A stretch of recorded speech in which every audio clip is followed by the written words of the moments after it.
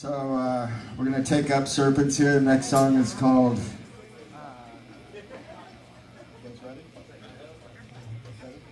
The Rattler.